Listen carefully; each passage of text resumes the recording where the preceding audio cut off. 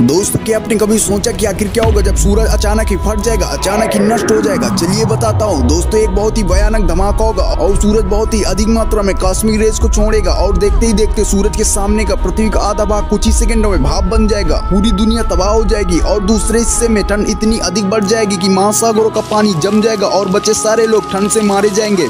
सौर मंडल से बहुत ही दूर चली जाएगी और ये घूमना बंद कर देगी। लेकिन ये घटना पाँच अरब साल बाद होगी, तब तक सारे लोग एलियन के साथ किसी दूसरे ग्रह पर निवास कर रहे होंगे और फिर सारे एलियन के साथ मिलकर मिक्सर फाइव चैनल को तुरंत ही सब्सक्राइब कर लेंगे।